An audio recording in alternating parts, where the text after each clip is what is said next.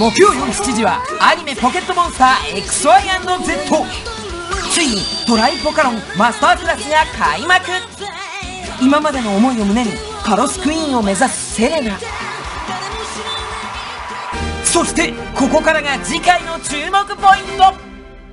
これまでセレナと共に戦ってきたライバルたちが集結。果たしてこの中からカロスクイーンは生まれるのか。木曜夜7時絶対見てね。